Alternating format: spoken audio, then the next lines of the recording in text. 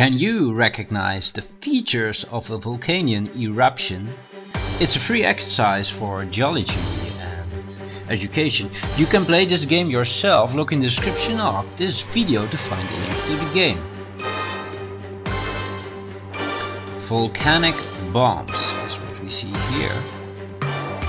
This is of course a lava flow. This is the magma chamber. This is an ash plume. Uh, these are layers of ash and lava piled up during time. This crack with magma filled with magma is called a dike. Uh, this little parts flying around are called lapilli and can be very, very beautiful inside when you find them later.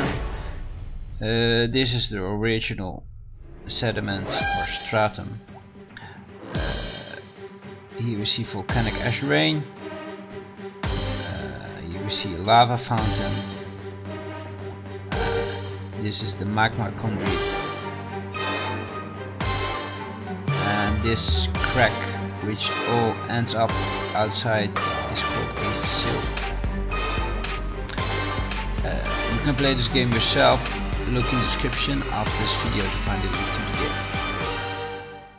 Cities of the world. Subscribe. More videos on travel and cities. Games for school, geography and geosciences. Link to free games.